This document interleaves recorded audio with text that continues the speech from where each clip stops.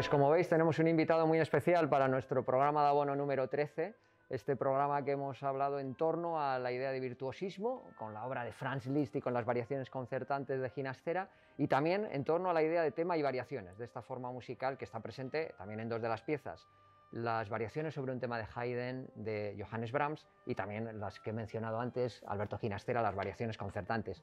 Y para hablar de este programa contamos con el maestro Carlos Miguel Prieto, qué gran honor otra vez que estés con nosotros. No sé si es la séptima, octava, novena visita. Son muchas veces en lo largo de estos últimos años, conoces muy bien la orquesta. Sí. Y bueno, el programa creo que es redondo, que es bonito, y Sí. sobre todo está esa ginastera del cual eres también un gran especialista. Sí. ¿no? Bueno, la verdad es que es un programa que heredé porque eh, en- entré como sustituto, cosa que me da mucho gusto, primero porque me da la oportunidad de regresar aquí, que, tengo muchos amigos y que además conozco muy bien la ciudad y la orquesta y, en fin, todo el entorno, y siempre me da mucho gusto. Eh, pero además el programa, o sea, la verdad es que por lo menos dos de las tres obras son obras que hago todo el tiempo y el list lo he hecho también muchísimo. Eh, pero para mí una de las cumbres del siglo XIX sinfónico es, son las variaciones sobre un tema de Haydn, de Brahms, eh, compositor que todo músico adora.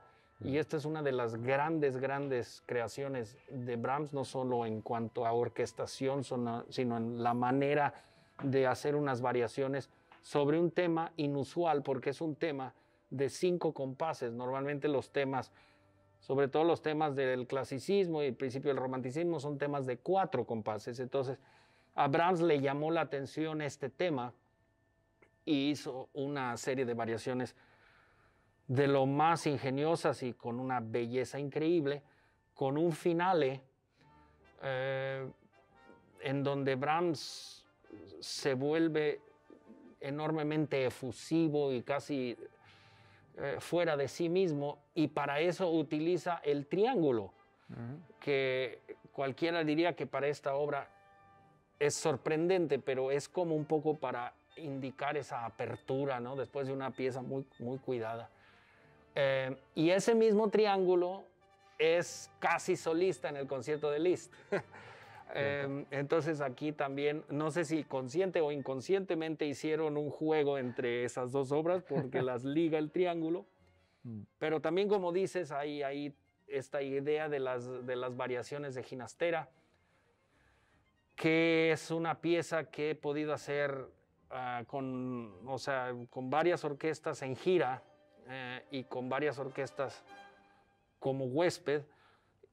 Y es una pieza que me gusta mucho hacer porque además de tener mucho que trabajar, es una pieza que a las orquestas les, les gusta porque demuestran, demuestra el virtuosismo individual Sí, cada eh, sección, ¿no? de Tiene cada sección y de cada, y de cada solista de cada sección. Entonces, es una obra ingeniosa, ah, muy argentina, mm, de su periodo más, digamos, folclórico de los años 50, que es un momento en donde Ginastera era, eh, ¿cómo te diré? Es, es su periodo casi nacionalista, si lo quieres ver. Es que después tuvo un periodo como más de exploración, eh, eh, más modernista, Sí, ¿no? sí, más experimental, o- Exactamente. Pero esta pieza tiene esa, esa cosa localista, termina con un malambo, uno Ah. de sus fan- fantásticos malambos.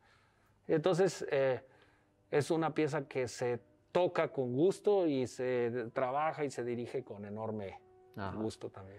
Pues como el, como el maestro lo decía, él viene sustituyendo a Joan Faleta, que nos hacía mucha ilusión que hubiera vuelto Sí. después de muchas veces que nos había dirigido en los años 90 y suponía su regreso a la orquesta, pero bueno, pues ella es titular también en la orquesta de Búfalo y las restricciones para volver pues le obligaban a cancelar porque no, no- Sí. no- le le exigían una cuarentena.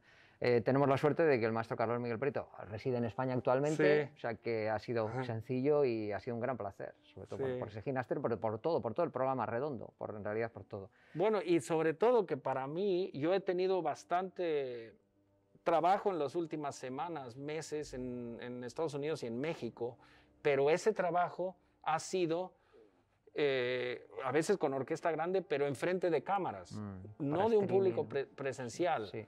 Entonces, para mí es el regreso emotivísimo a ver un público. Ah, Y em, yo eh, adoro y respeto todo lo que se está haciendo en cuanto al trabajo em, virtual de las orquestas, pero adoro todavía más el contacto con el público. sí, sí. Tenemos la fortuna de Sí. tener 600 espectadores que pueden venir al Palacio Escalduna en esos tres pases de las 12 del mediodía del jueves o a las 7 y media de la tarde ese mismo día o el viernes a las 7 y media de la tarde, por lo cual pues, hay entradas disponibles. sí.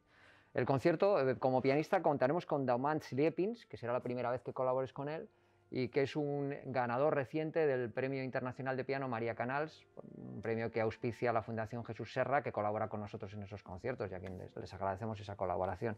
Con Daumant ya le verás mañana, así que bueno, será la cuestión de organizar los tempi y todo Sí. para ese list tam- también espectacular. Bueno, debe ser buenísimo porque o sea, eh, esto, esto es, eh, eh, bueno, debe ser joven. sí, Eh, joven ganador de concurso debe ser algo impresionante. Y esta es una pieza, un concierto, que a un pianista le da mucho porque le da la oportunidad no solo del lucimiento técnico, sino que también hay mucha poesía. Eh, y, y es un concierto en donde eh, un pianista se puede explayar, digamos, y es, es- no todo el mundo sabe tocar Liszt, eh, por- porque Liszt tiene su, su lenguaje, ¿no? que, combina pues, lo que era él como persona y como pianista, un virtuosismo. Dicen que tenía unas manos enormes y que tenía una capacidad increíble, pero que también era, era muy poeta. Y entonces todo eso lo hace un virtuosismo muy especial Sí, para no es- los amantes del piano. no es un virtuosismo vacío, digamos, No. de puro espectáculo, sino que luego está ese Correcto. contenido Sí. musical. ¿no?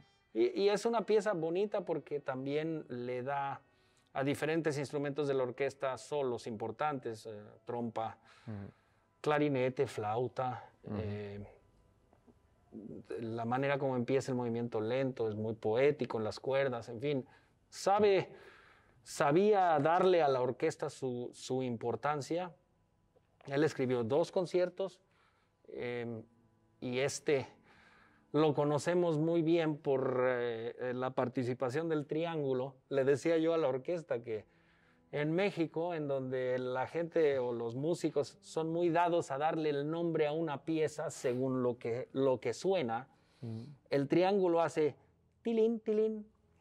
Y entonces la gente le dice este concierto, los músicos le dicen, ¿a cuál es? Es, es el concierto del tilín, tilín. Y así es. Y así las bandas en Oaxaca, por ejemplo, en México, o, o en otras partes de la meseta central, les llaman a las obras según la- las notas, Ujú. ¿sí? O sea, una nota eh, le podrían llamar un la si do, ¿no? Ujú. No le llaman la obertura de tal. Y eh, entonces este es el tilín, tilín.